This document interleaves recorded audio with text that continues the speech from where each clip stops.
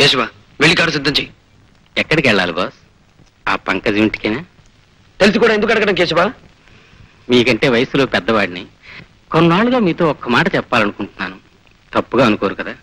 చెప్పు కేశవ చెప్పు. ఏం లేదు. డబ్బుతో కొనుక్కునే ఆడదాని పొందులో మగాడికి సుఖం దొరుకుతుందేమో గాని శాంతి దొరకదు. అందుకే నా మాట విని మీరెవరైనా ఒక చక్కటి అమ్మాయిని చూసి పెళ్ళి చేసుకుంటే కేశవ! పెళ్ళి అనే పదం వింటే నా గుండె మండే కొండలా మారిపోతుంది. బాధ పెట్టే గతం మళ్ళీ నాకు గుర్తొస్తుంది. ఇంకెప్పుడు ఆ విషయం నా దగ్గర తీసుకురావద్దు కేశవ. తీసుకురావద్దు. కొన్ని కొన్ని మర్చిపోవడం కోసమే. సొమ్ముతో కొన్న ఈ ఆల్కహాల్ని ఆడదాన్ని నమ్ముకోవాల్సి వస్తుంది. వెలుగు చీకట్ల మధ్య ఆటుపోటుల మధ్య ఇలాగే సాగిపోతూ అంతమవ్వాలి ఈ బ్రతుకు. అర్థమైందా?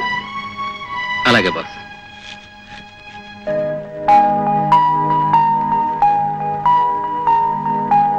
హలో రాజా. నమస్తే. జమీందార్ రఘుపతిరావు గారి కుమారుడు రాజా విదేశాల నుంచి తిరిగి వచ్చిన సందర్భంగా ఘనమైన స్వాగతం ఇవ్వడం జరిగింది. రాజా గౌరవార్థం రేపు సాయంత్రం బ్రహ్మాండమైన పార్టీ జరగబోతోంది! నీ కారణంగానే నా జీవితం ఇలా మలుపు తిరిగిందిరా. లేకపోతే నా రాధతో నా బ్రతుకు గతంలో లాగే తీయటి పాటలా సాగిపోతూ ఉండేది.